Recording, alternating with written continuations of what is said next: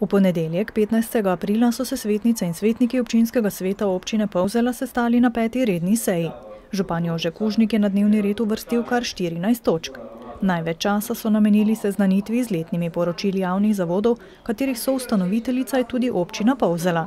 Predstavili so se ravnatelji in direktori javnih zavodov medobčinske splošne knjižnice, glasbene šole Risto Savin, druge osnovne šole Žalec in upi Ljudske univerze.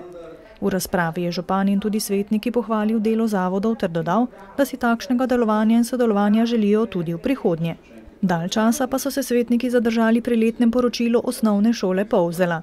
Brez daljše razprave je bil v nadaljevanju sprejet sklep o določitvi novih cen programa v vrtcu Povzela. Tako se je cena v prvem starostnem obdobju povečala za 10 odstotkov in znaša dobrih 460 evrov v drugem starostnem obdobju pa za 6 odstotkov, kar pomeni dobrih 395 evrov. Cene bodo začele veljati s 1. majem.